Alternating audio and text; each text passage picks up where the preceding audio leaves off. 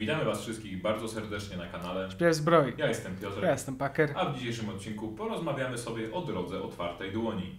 Mnisi otwartej dłoni to niedoścignieni mistrzowie sztuk walki z bronią lub bez. Poznali specjalne techniki odpychania i popychania swoich przeciwników, potrafią sami siebie leczyć, manipulując swoją wewnętrzną energią ki oraz mają niesamowitą obronę wspomaganą specjalnymi technikami medytacyjnymi. Kiedy wybieramy tą tradycję, na poziomie trzecim poznajemy technikę otwartej dłoni, która pozwala nam na nakładanie dodatkowych efektów, kiedy trafimy przeciwnika za pomocą naszego gradu ciosów. Są to trzy efekty. Pierwszy z nich to wymuszenie na naszym przeciwniku zrobienie rzutu obronnego na zręczność i w przypadku niepowodzenia zostaje powalony. Drugi efekt to wymuszenie rzutu obronnego na siłę i w przypadku niepowodzenia możemy go odepchnąć od nas na odległość do 4,5 metra. A ostatni efekt to pozbawienie naszego przeciwnika możliwości wykonania reakcji aż do końca naszej kolejnej tury. Na poziomie szóstym zyskujemy integralność ciała. Dzięki niej możemy odzyskać punkty wytrzymałości e, równe trzykrotności naszego poziomu mnicha. E, Ponownie tej umiejętności możemy użyć po ukończeniu długiego odpoczynku. Na poziomie 11 zyskujemy umiejętność uspokojenia. Podczas długiego odpoczynku wchodzimy w specjalny trans, którego efektem jest to, że po jego zakończeniu mamy na sobie efekt zaklęcia sanktuarium, które trwa aż do rozpoczęcia kolejnego długiego odpoczynku.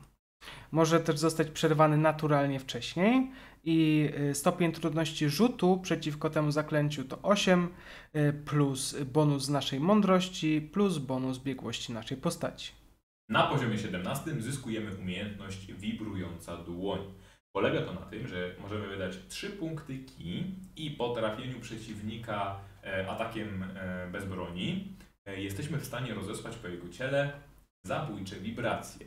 Te wibracje trwają tyle dni, ile mamy poziomu naszego mnicha i one są nieszkodliwe. Chyba, że wcześniej zakończymy je akcją. Wtedy nasz cel musi sobie zrobić rzut obronny na kondycję. W razie niepowodzenia jego punkty wytrzymałości po prostu spadają do zera. Jeżeli mu się powiedzie, dostaje obrażenia 10k10 obrażeń nekrotycznych. Musimy pamiętać, że my, jak i nasz cel, musimy znajdować się na tym samym planie egzystencji i możemy w ten sposób zaatakować jedną osobę naraz. Możemy również y, bez zużywania naszej akcji zakończyć y, ten efekt bez szkody dla naszego celu.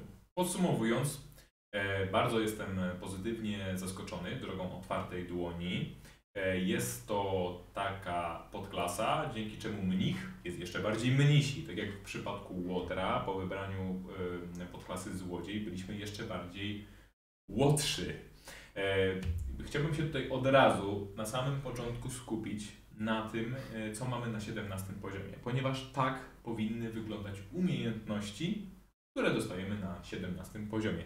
Nie jakąś tam dodatkową odporność, nie jakiś dodatkowy atak okazyjny. Nie, tutaj jak kogoś dotkniemy, to on może po prostu umrzeć od razu. Moim zdaniem jest to bardzo dobra umiejętność.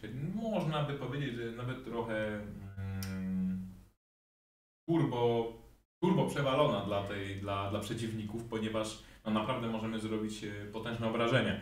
Co więcej, w podręczniku po polsku nie jest napisane, ile razy możemy tego użyć. Jedynym naszą, mm, jedynym naszym ograniczeniem jest to, że y, możemy tego użyć y, raz w tym samym czasie na jedną osobę. A potem, potem możemy używać tego dalej. Nawet jeżeli naszemu przeciwnikowi wejdzie rzut obronny, to i tak dostaje potężne obrażenia nekrotyczne. Biorąc pod uwagę jeszcze wszystkie inne umiejętności, które tutaj mamy y, do wyboru, takie jak na przykład rzucenie na siebie sanktuarium, e, na, na okres całego dnia, od końca długiego odpoczynku do początku, też naprawdę daje nam duże możliwości jako, jako mnich. Dzięki czemu możemy naprawdę e, siać pogrom na polu bitwy. Ja też tutaj nie mam w planach pisać żadnego eseju na temat tej podklasy, bo po prostu poleciłbym ją każdemu, który chciałby zagrać kiedyś pierwszy raz mnichem. E, oprócz oczywiście tej ostatniej umiejętności, to wszystkie pozostałe po prostu są fajne i przydatne w większości przypadków.